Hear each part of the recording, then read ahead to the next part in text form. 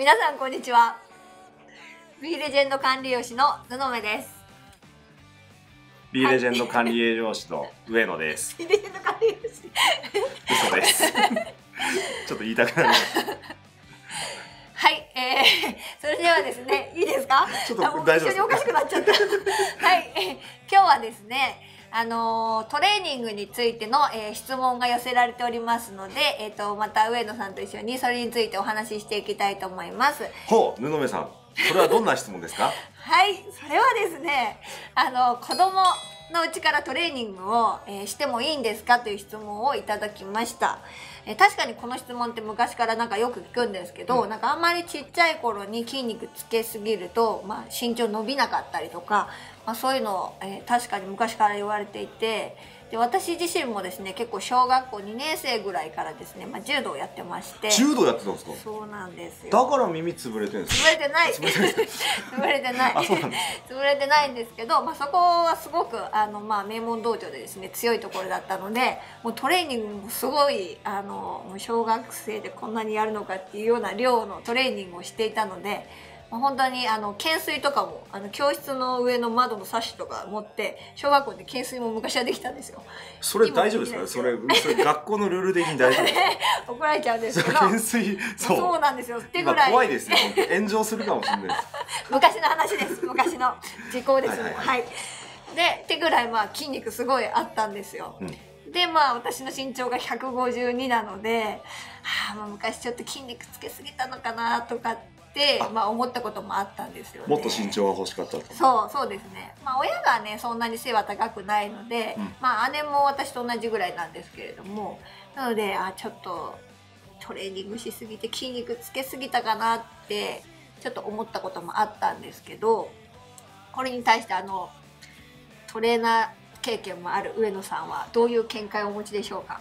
まあそうですね。トレーニング、まあさっきのご質問だと、まあトレーニングはしてもいいのかどうなのか。うん。でトレーニングの定義をしっかりとここで、うん。あの明らかにしておく必要があると思うんですね。ただ、まあ、今の話布目さんのおっしゃった話だと、トレーニングの中でも、まあ、筋肥大を目指す、うん。えートレーニンうん。グをしていたという話だったと思うんですけどそのトレーニングは筋肥大目的の我々がダンベルだったりバーベルを使ったマシン使ったああいうのなのか、はい。それ以外のトレーニングなのかっていうところでも、うん。やっぱり回答は変わってくると思うんですね。例えばそのウエイトトレーニングなんかをはい。する場合、はい。でウエイトトレーニングで筋肥大を狙う時のやっぱり一番その気をつけなきゃいけないところって、うん。あの怪我。もっと言うとその関節だったりうん。の怪我がやっぱりそのリスクとしてどうしてもつきまとうものだと思うんですね。で特にその、まあち幼い頃はうん。まだその辺関節とかもうん。柔らかいというふうに言われてますよね。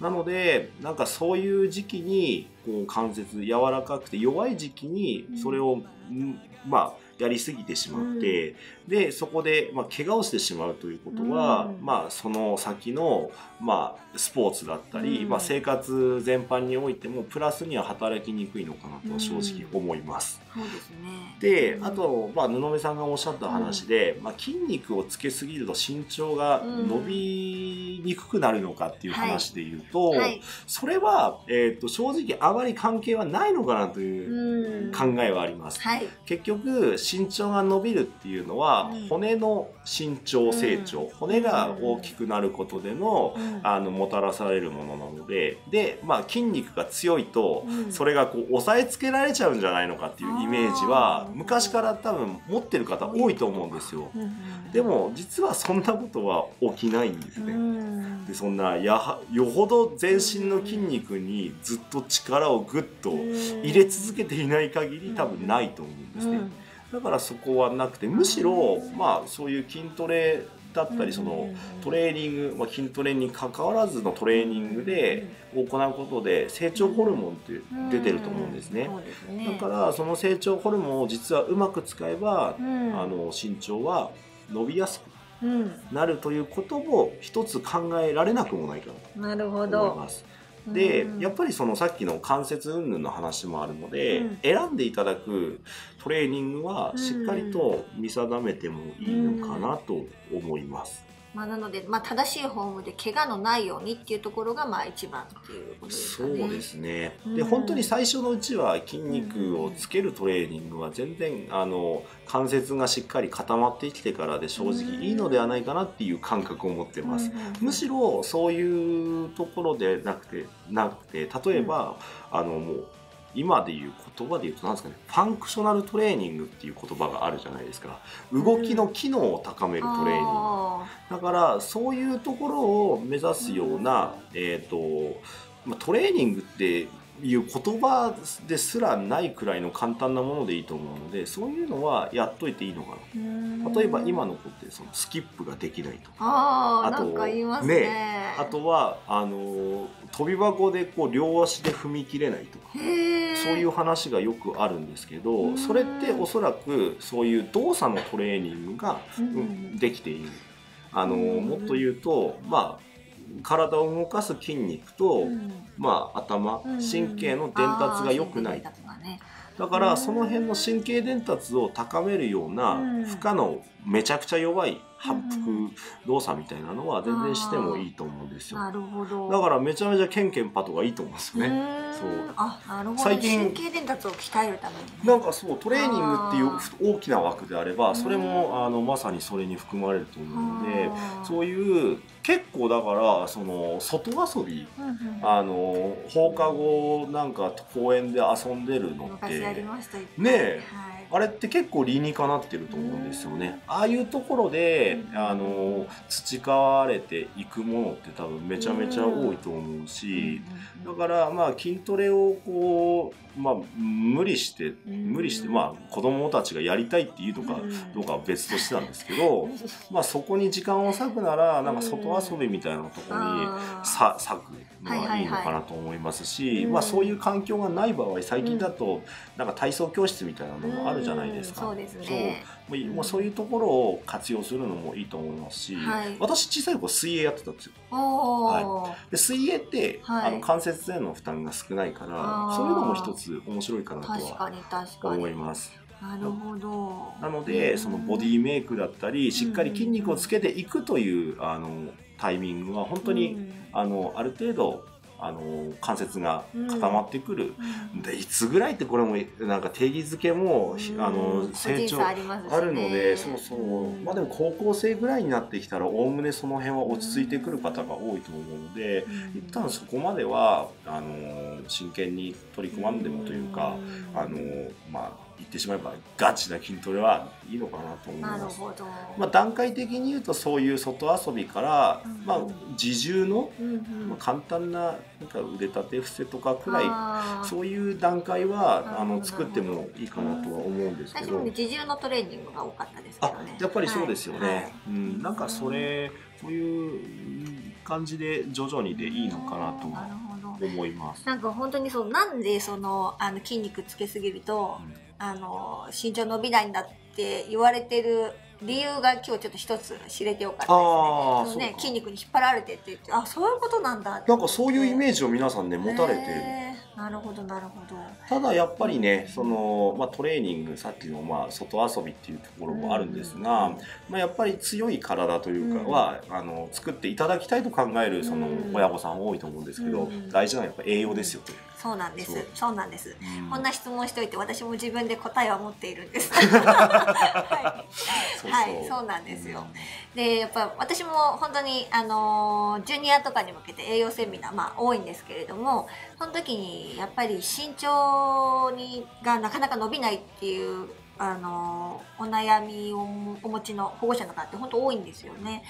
でまあいつもこれも話してるんですけれどもやっぱり身長って、まあ、ある程度は遺伝で決まっているとこはあるんですけれどもその中でもやっぱりタンパク質と、まあ、カルシウムの摂取っていうのが骨の成長にも、まあ、筋肉のあの体の成長にも、まあ、必要って言われているので、まあ、あの本当ねさっき成長ホルモンも運動すると出るって言ったんですけれども運動の後ってその筋肉だったりとかそういうのの合成のあがタンパク質しっかりとることによって高まるっていうことも分かっているので、まあ、そういってね、あのーあんまりガチすぎるトレーニングじゃなくって、まあ、そういう適度なトレーニングとか運動とか、まあ、遊んだりとかしてでそれと同時に、まあ、そのタンパク質とカルシウムっていうのを取っていってもらえればえージュニアプロテインですね。うん。弊社のジュニアプロテインをもう本当優秀なんですあれ。なので、まあ、それを一緒に取っていただくと、まあ、あの身長伸びないとか、まあ、そういった心配はないのかなというふうに思うんですよね。そうですね。なんかおっしゃる通りで、うん。あの皆さんやっぱり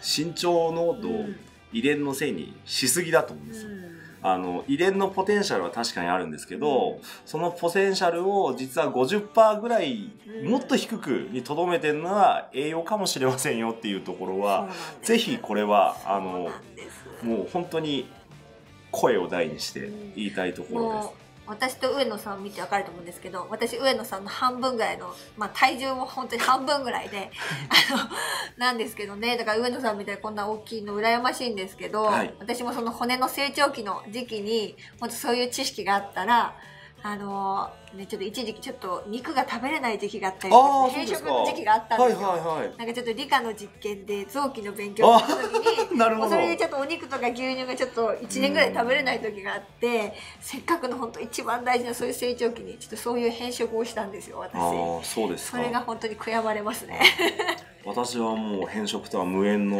人生を送ってきてですね。この恵まれた体格ですね。たくさん遊んでたくさん食べてができたらこうな北りました海道の大自然で。そうですね駆けずり回って。っていうのはね結構大事だと思います。うんでそうですね。あまあその辺そのお子さんの方、なんていうんですかね成長をやっぱり望むのであればまあそのまあ導いてあげるのは親御さんだと思いますので、まあ今の話をちょっとあたす頭の片隅にでも少し入れた上でなんか何かしらあのできることはしていただくといいのかなとは思います。その辺多分栄養ってとっつきやすいと思うんですよね。うんちょっと知ってればそれであの子供に提供できるからうんいいとそう思います。ですねその影響ってすごく大きくなりますしね、うんまたね、そうなんですようね。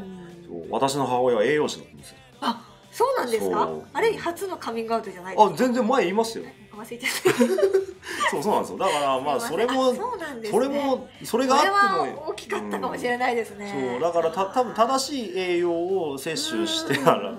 たのがこうなったんだと思います。そうですね、うん。それははい。説得力がありますね、実はそうなんですよ。はい。というわけでそうそう締めますか。はいそうですね。なんかまとめ、どうぞ。はい、それではですね今日はまあ小さなお子様にもまあトレーニングをさせていいのかという話だったんですけれども結果はどんどん、えーさせていただいて、まあ、あの関節痛めないようにですね安全にしていただいた上で、えーしっかりと、まあ、栄養をとっていただくというのが、まあ、健やかな成長につながるんではないかという着地でよろしかったでしょうか。